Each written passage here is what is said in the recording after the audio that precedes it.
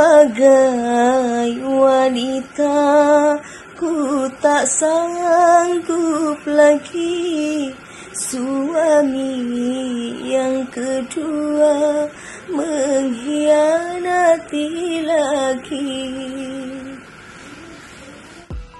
Halo Sobat Fakta Bang Pin, ketemu lagi dengan Bang Pin yang terus mengabarkan fakta viral seputar selebritas tanah air yang terus saja bikin berita dan dengan berita mereka tetap eksis di ranah media. Ya, Haji Faisal ternyata guys, ada saja caranya.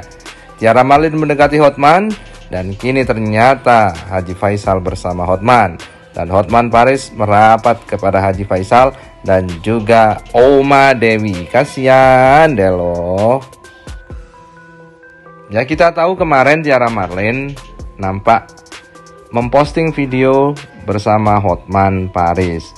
Di situ Hotman Paris mengatakan bahwasannya Tiara Marlin seakan-akan tidak bersalah dan memberikan pandangan hukumnya soal Tiara Marlin yang menghina orang yang sudah meninggal. Dan itu memang video diunggah di akun TikTok Tiara Marlin.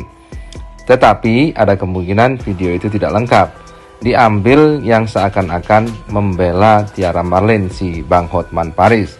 Karena kita tahu Bang Hotman ini adalah pengacara yang sepertinya nggak pernah kalah di dalam mengurusi kasus kliennya.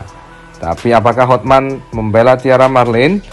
Ternyata, oh ternyata kini Haji Faisal yang merapat dengan Hotman dan diundang di acara Hotman Paris Show.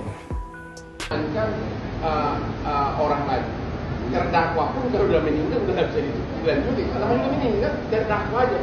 Orang membunuh seribu orang ya dia diri. Tiba-tiba mati. Eh siapa yang dia diri? Orang udah mati.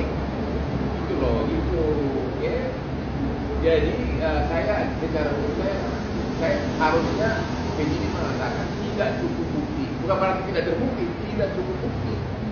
Ya karena kalau ternyata benar hamil itu bukan tuntunan yang baik karena sudah keluar SK Menteri mengatakan kalau yang diucapkan itu fakta kenyataan itu bukan pencemaran nama baik. Yang tanda tangan surat itu dua menteri sama Kapolri itu juga sama Kapolri. Kalau karena begini tidak akan pernah tahu itu benar atau tidak akan meninggal gitu loh. Oke, kalau ini ada saya tahu. Hmm. Apa nih? Saya.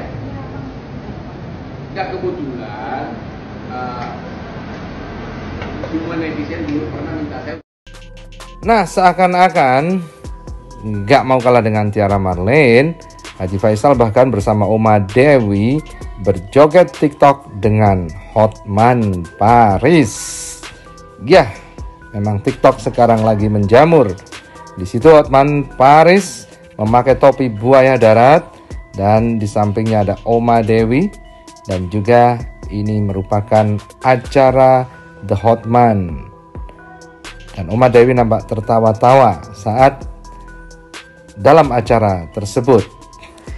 Dengan hostnya Melanie Ricardo yang cukup bisa membawa suasana, Haji Faisal bersama Hotman nampak ngobrol serius. Dan tentu sebagai pengacara, Hotman tidak boleh mendengarkan dari satu sisi saja. Dia perlu mendengarkan dari sisi Haji Faisal Kenapa sampai tidak mau berdamai dengan Tiara Marlen dan bagaimana sebenarnya kasus hukumnya? Apa yang dilaporkan? Delik pidananya apa? Dan kemudian dasar hukumnya apa? Tentu Hotman ingin menggali lebih jauh dari Haji Faisal. Apa sebenarnya yang sedang terjadi? Karena kita tahu Hotman Paris sendiri dulu sempat mengatakan bahwa dia siap membela Haji Faisal karena Hotman yakin bahwa Haji Faisal ini tulus dan bukan ingin harta anak yatim, yaitu harta dari Galaskai Ardiansa. Dan waktu itu jelas-jelas Hotman Paris mengatakan bersedia membantu Haji Faisal. Namun karena Haji Faisal sudah mempunyai kuasa hukum sendiri yaitu Bang Sandi, maka memang Hotman hanya memberikan saran-saran saja kepada Haji Faisal. Dan kini saat Tiara Marlin mendekati Hotman Paris, Hotman pun bertemu dengan Haji Faisal untuk melakukan klarifikasi sepertinya.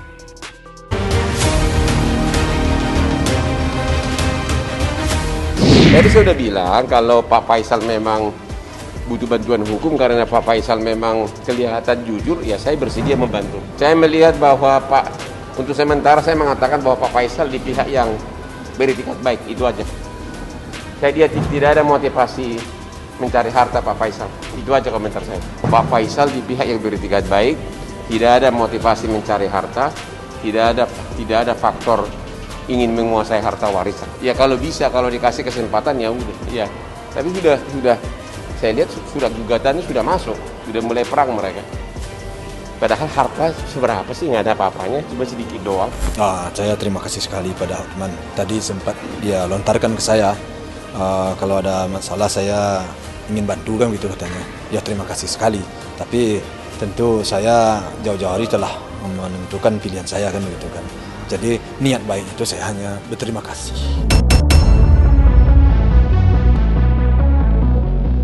Dukungan mengalir untuk Haji Faisal yang sedang memperjuangkan hak perwalian untuk Gala. Termasuk dari pengacara kondang sekelas Hotman Parisutapea. Sementara itu, dukungan juga datang dari para...